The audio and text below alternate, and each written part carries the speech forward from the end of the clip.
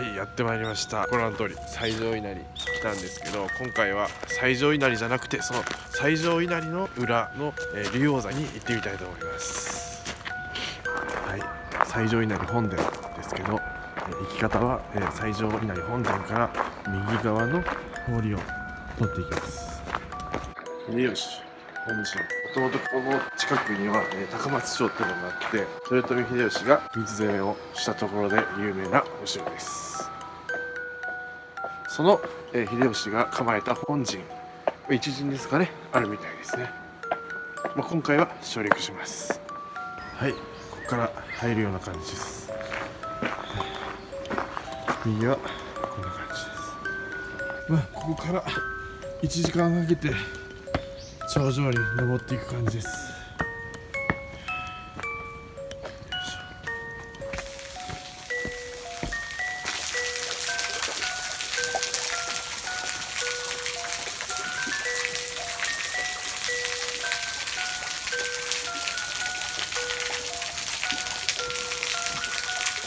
とりあえず寒いんで今日はやめておきます、うん、終わります。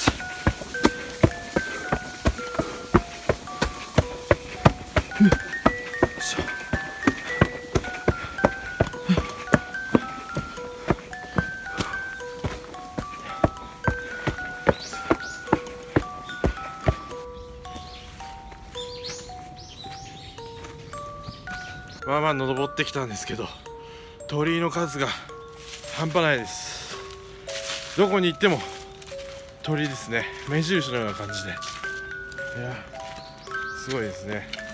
ここは心霊スポットというよりかはパワースポットということで最上稲荷に参拝されてまだ体力ある人はこの山に登ると。で登り終えたら、えー、近くの、えー、稲荷センターという温泉に、えー体を清めるというか汗を流すっていうらしいですね。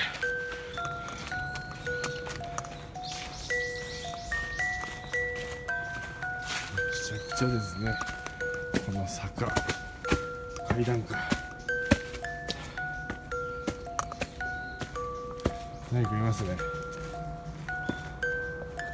獣の気配が。猫ですね。猫といえば思い出しますね。育霊神社。育霊神社よりかは道も整ってんで。登りやすいですけどやっぱりきついですねこの階段が。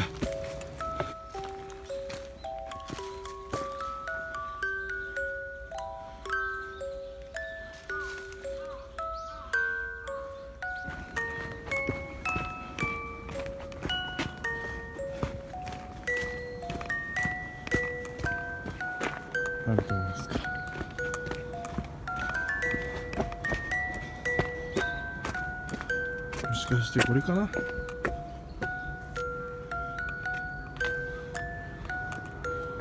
ごい景色。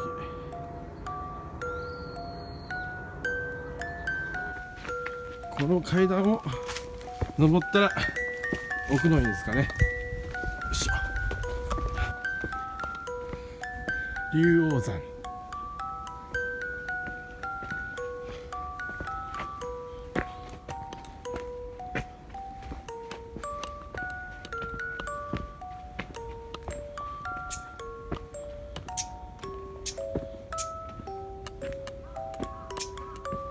いたんですけどなんか立派な建物が見えますね。あそこに西郷隆盛のような、うん、まあ多分西郷隆盛じゃないと思うんですけどね、えー、日蓮宗の関係のお坊さんですかね。とりあえず数多くの席が立ち並んでいます。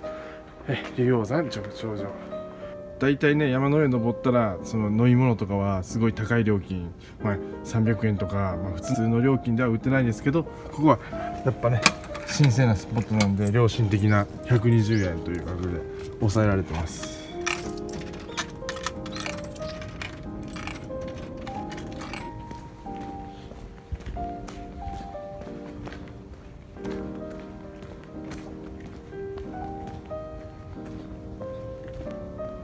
とりあえずねあの山頂にまで登ったんですけど服装も登山のような、えー、服装で行った方がいいと思います。ちゃんとブーツを履いてスウェットシャツのようなものを着て登った方が結構ね汗もかくんで年末年始お正月三が日多分最上稲荷に来ることはあると思うんでぜひね最上稲荷で参拝した後時間があれば、えー、この竜王山に登って、えー、参拝してみてください、えまたスピーチューブアップしますんでよろしくお願いします。